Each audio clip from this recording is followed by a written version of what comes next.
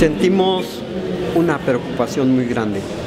Estamos tristes porque para esto, digo, para nosotros esto es desgastante, porque venimos de las comunidades y contamos con muy escasos recursos económicos, pero eh, por otro lado, estamos contentos porque mientras más se estudie nuestro caso, yo creo que más conciencia van a tener los ministros de eh, lo perjudicial que es para nosotros, de que se siga deforestando, de que se siga sembrando Monsanto. Yo creo que este tiempo de que lo, difieren, eh, que les sirva mucho para estudiar más el caso y tomen más conciencia de que de su decisión depende muchas vidas tanto de animales como humanos, eh, la apicultura en lo general eh, está en peligro. Y entonces yo, espero, yo espero que entre todos vean con calma, con mucha calma y con mucho aplomo eh, den un veredicto a favor de esto porque es votar a favor de la vida, a favor de un medio ambiente sano, a favor de tener selvas, bosques, agua, todo lo que necesita el ser humano para poder subsistir.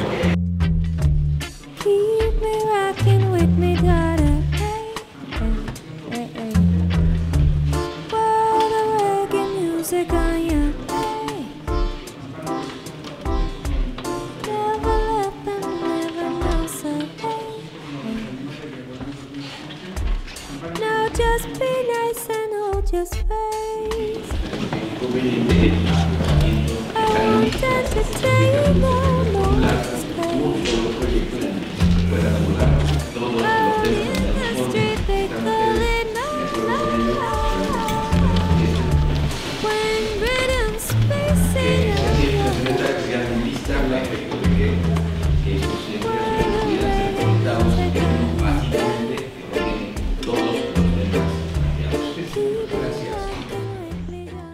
Esperamos que nos, eh, que nos tomen como personas, que respeten nuestros derechos como pueblos indígenas mayas, que nos respeten ya con nuestras tradiciones, con nuestra identidad maya, porque tumbando toda la selva, todo el bosque de Campeche, se está desapareciendo con mucha de nuestra cultura, con mucho de nuestra identidad, porque nosotros los mayas cuidamos mucho las aguadas, las lagunas, todo lo que es de lo natural, nosotros lo cuidamos mucho.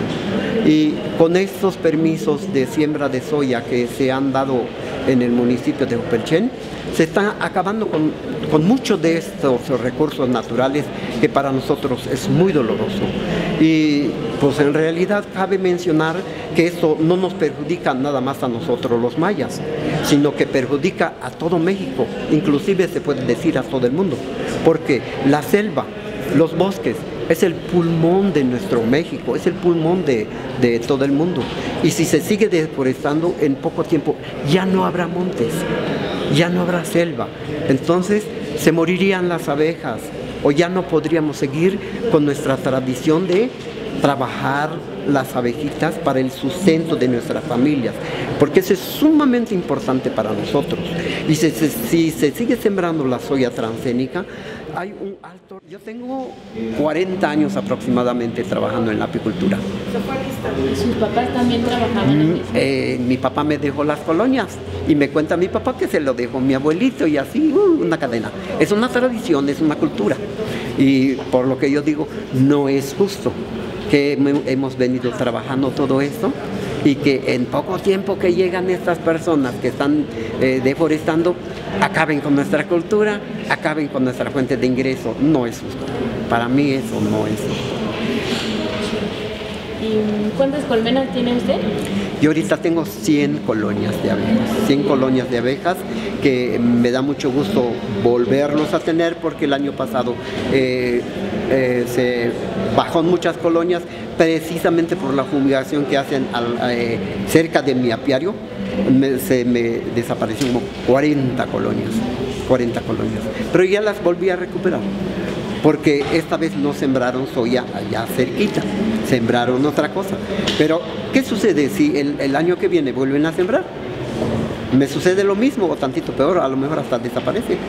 Y es una pérdida muy grande para mi familia, ¿sí?